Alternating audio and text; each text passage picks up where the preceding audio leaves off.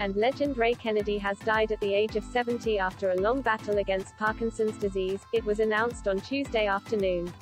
The former forward started his career with the Gunners, making a total of 213 appearances between 1969 to 1974 and winning a First Division title and FA Cup in that time. He then moved on to, where he helped the Reds win a total of 15 trophies including 5 league titles and 3 European Cups. He later went on to represent the likes of Swansea and Hartlepool along with Cypriot side Pezoporikos, while he also won 17 caps for England. Tributes have been flooding in from around the world of football since the sad news of his death was announced.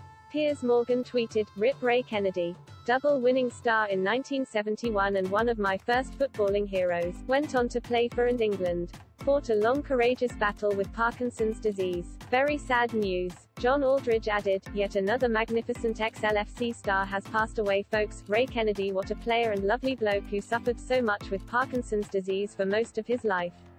He will definitely never walk alone. Rip Ray, S official statistician, Ged Rea, tweeted, Rip Ray Kennedy. One of the legendary midfielders of any generation. His teammates and opponents knew just how brilliant he was. He fought a horrible illness for many years with great dignity and resolve.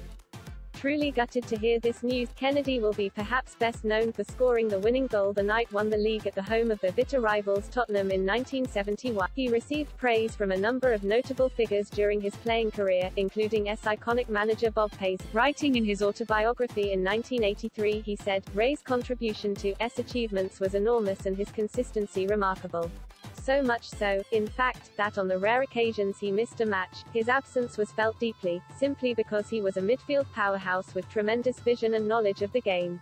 In my view he was one of S greatest players and probably the most underrated, and are yet to make a statement regarding his death, but will no doubt pay tribute in due course.